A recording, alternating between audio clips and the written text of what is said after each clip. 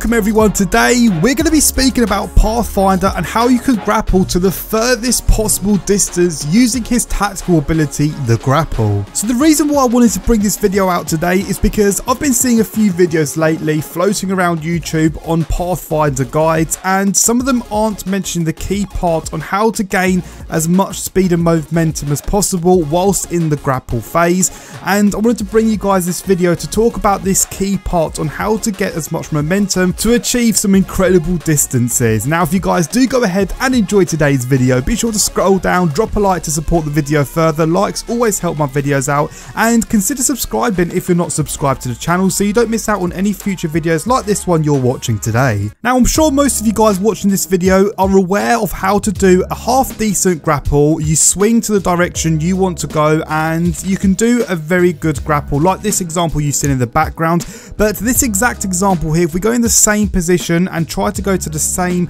target, you guys can see I am getting much more momentum and that is because I have fully studied the 90 degree cutoff point on the grapple. So when grappling, if you move your look controls, so the right stick on console or your mouse on mouse and keyboard, past 90 degrees of where the grapple is latched onto, it will just take you off the grapple and disable it completely. But this is the important part here because whilst you're grappling, you want to try and get to as close as 90 degrees as possible. As the closer you are to that 90 degree cutoff point, the faster your momentum is going to be. And when you do eventually latch off to that grapple, you will go faster than if you were doing a standard basic grapple. So I want to do a step-by-step -step guide from the moment you're pressing the grapple button to the moment you land on the floor on the other side and I want to make this as simple as possible for even you beginners out there that are watching this video whether you're a beginner or a semi-pro player I'm going to try and make this as easiest as possible for everyone watching this video. So the first thing you want to consider is the angle of your grapple. You want to have a good understanding of where you want to land and the best in my opinion the best angle you can have is just over 180 degrees. If your intentions are to go as far as possible you don't want the grapple to be too high or too low where it can stop your momentum. This is a very good height you're seeing in the background and a lot of corners of buildings and houses will allow you to do this sort of height. So the first thing you need to consider is the jump and also the movement. Now when you're grappling in this sort of direction and you'll want to swing towards the left, you want to have your movement control so that's your left analog stick or your WASD keys on your keyboard pointed to around 11 o'clock. If you're using the keyboard you want to be having the W and A key pressed down and this is going to help your movement swift towards that left direction but this isn't the crucial part. The crucial part which many people aren't doing is your look controls. Now you want to practice trying to grapple at around 80 to 85 degrees just before that cutoff point as this is going to allow you to swing even further round to gain some crazy momentum and this is going to be the momentum that will make the difference. Now when you're practicing you're probably going to fall off 90 degrees and get cut off from the grapple whilst you're practicing but over time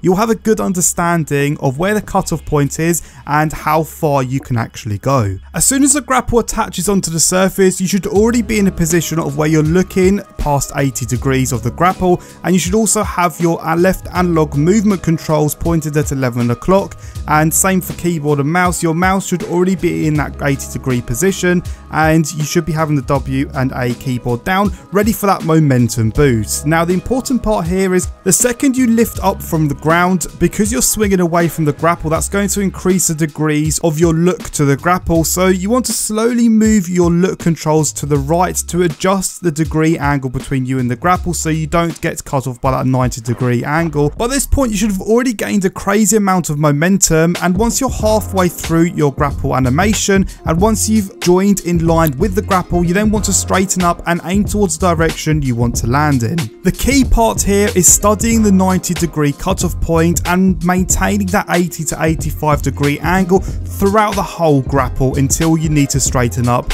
and then latch off to the grapple. That's what gains your momentum as much as possible and this is something I'm not seeing many people do. Of course you only want to use this technique if you are truly focused on gaining speed. In some situations where you need to focus on accuracy and grappling onto buildings then this technique doesn't need to be used at all but this technique can be used even when you're grappling on the ground surface. If you just create an 80 degree angle from the get go you can grapple further and faster than if you were just going to jump and go straight over. One tip I would say here is jump just as soon as your grapple attaches onto the surface and you want to be jumping of course in the angle you want to create.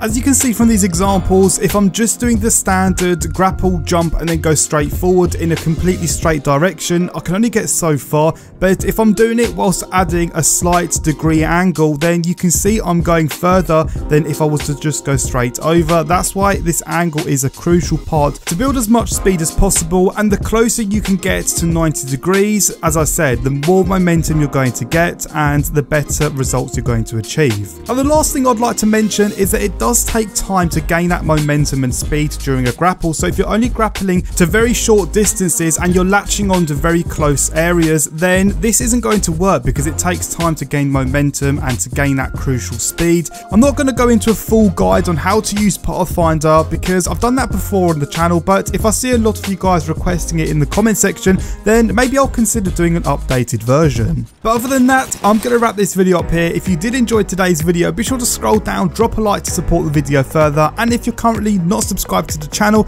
I'd recommend you guys subscribe so you don't miss out on any future key tips like this video you've seen today. Thank you all for watching, enjoy the rest of your day, and I'll catch all of you guys out in another brand new Apex Legends video.